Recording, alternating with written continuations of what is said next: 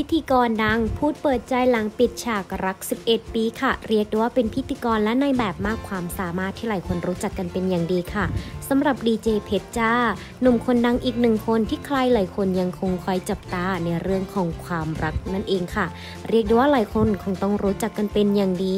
สำหรับหนุ่มลูกหนึ่งสุดฮอตอย่างดีเจเพชรจ้า ซึ่งตั้งแต่เลิกกับสาวนิวเคลียร์ไป ก็ดูเหมือนว่าจะปิดใจไม่อยากรักกับใครอีก โดยเจ้าตัวได้บอกว่าในตอนนี้ใช้ชีวิตอิสระมันก็ดี ซึ่งจะไม่ได้คิดมีใครขอทุ่มเวลาให้กับน้องไทก้าให้เต็มที่ก่อนนั่นเองค่ะ ล่าสุดนั้นดีเจเพชรจ้า ได้มาเป็นแขกรับเชิญในรายการคลับไฟดย์โชว์โดยมีช่วงหนึ่งได้เล่าว่า วันที่นิวเคลียร์ถึงขั้นโพสต์ในโลกโซเชียลว่า อย่าให้ถึงวันที่ไม่รู้สึกมันคืออะไร ผมก็ไม่เข้าใจเหมือนกันค่ะถามตรงๆ เราก็ไม่ค่อยได้คุยกัน ผมคิดว่า